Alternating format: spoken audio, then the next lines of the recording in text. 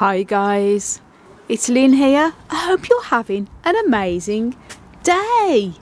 Now today I'm going to be sharing with you from buds to blooms my big fat Lobivia in an absolute abundance of blooms as you can see here huge it's got absolutely tons at the top I'm going to show you from buds to blooms.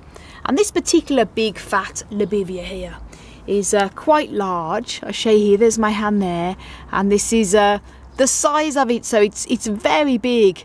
And the blooms on this beauty are absolutely spectacular. So I wanted to make sure this year I got it from buds to big blooms.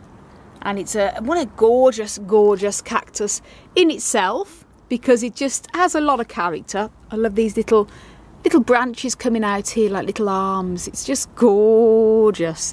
And lots more little buds just starting to appear all around here. But these are getting very ready to open. They look like little candles sitting at the top. They're absolutely amazing. So here we go guys. These are the wonderful uh, buds here. And now this is what it's going to look like Look at that guys, the flowers have opened and aren't they just the most gorgeous colour? They are so stunning. Beautiful, beautiful orange colour. And uh, this particular Lobivia is just absolutely breathtaking. To show you around here, it is just an absolute beauty.